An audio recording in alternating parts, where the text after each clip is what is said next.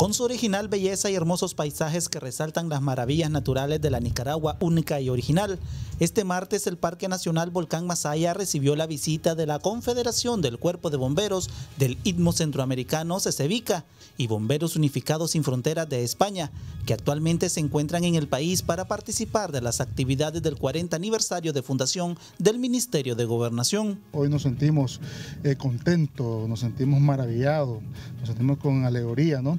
De como parte de nuestra Nicaragua bendita, eh, celebrar este 40 aniversario contento y qué más, ¿por qué no hacerlo con nuestros hermanos del Istmo Centroamericano que nos visitan hoy y parte del agradecimiento es mostrarle nuestra cultura, nuestra maravillosa tierra de lagos y volcanes como Nicaragua. Las excelentes condiciones de este majestuoso escenario que acompañado de los paisajes forman parte de los atractivos turísticos de la tierra de lagos y volcanes, continúa atrayendo la visita de turistas nacionales y extranjeros.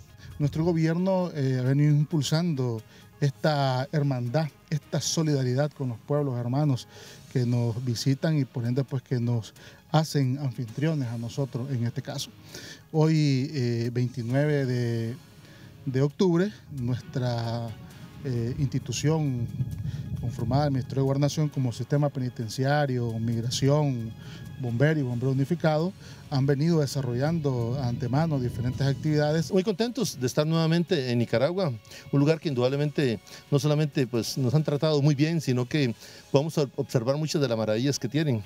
Una oportunidad para compartir con bomberos de toda la región centroamericana, generar nuevos proyectos, indudablemente fortalecernos y sobre todo pues muy agradecidos. Los asombrosos paisajes naturales que ofrece nuestra Nicaragua, acompañado de su topografía, flora y fauna y este destino turístico, garantizan a los visitantes una experiencia única y original.